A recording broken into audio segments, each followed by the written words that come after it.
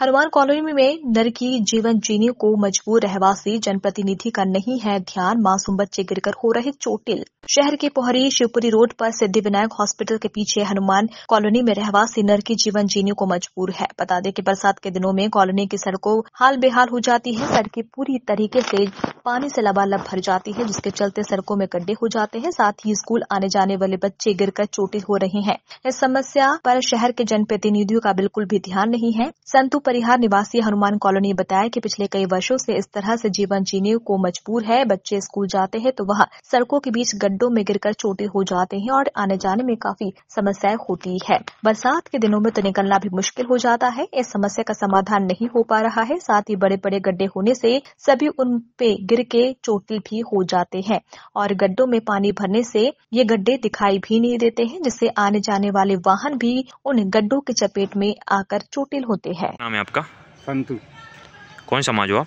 प्रयाग कहाँ रहते हो आप? यही रहते हैं। कौन सी कॉलोनी है?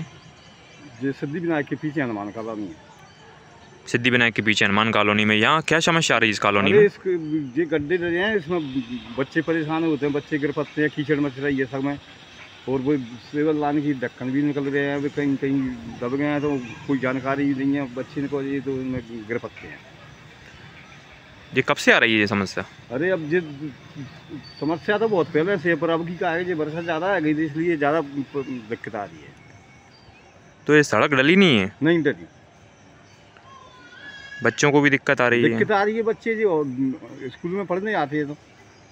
कल बच्चे मोटरसाइकिल भी गिर गई थी। और गिर गई। सीवर लाइन के ढक्कन भी खुले पड़े हुए हैं। हाँ। बड़े बड़े बे गड्ढे और पानी भर गया उनमें ना जानकारी बच्चे को कि कहाँ क्या है कहाँ क्या नहीं है इसलिए बच्चे गिर पत्ते हैं उनमें वाहन लेकर आते हैं मोटरसाइकिल है साइकिल है कोई जान वो नहीं है।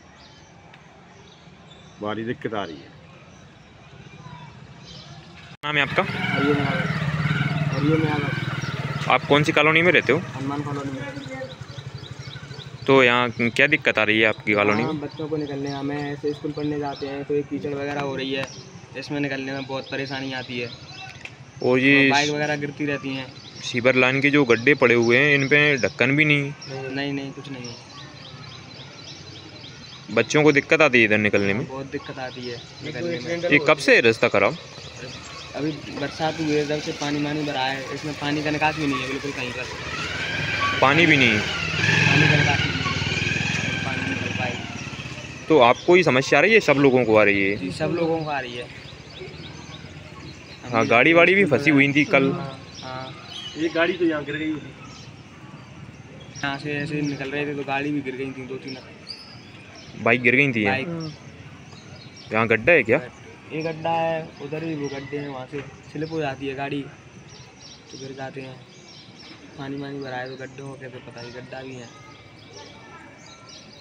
इससे ब- बहुत दिक्कत आती है निकलने में। क्या नाम है आपका? कुलदीप पूजा। कहाँ रहते हो आप? हनुमान कॉलोनी। में तो ये कॉलोनी में क्या समस्या आ रही है? सर ये रास्ता बहुत ख़राब है। मतलब स्कूल जाते हैं कोचिंग जाते हैं तो दिक्कत आती है। मतलब कोई भी निकलता है तो गिर जाते हैं। कल एक भैया दो बहनों को लेकर निकल रहे थे तो वो भी गिर गए थे। उसकी सिस्टर भी गिर गई वो भी गिर गए थे। उनके यहाँ पर लग गई थी। तो ये कब से है रास्ता खराब? लगभग इसको पानी पड़ा है उसने मतलब बीस दिन तो ही गए और ज़्यादा दिन। यहाँ गड्ढे भी के गड्ढे भी हैं और बड़े बड़े आप देख पा रहे हो गड्ढे को आप देख सकते हो।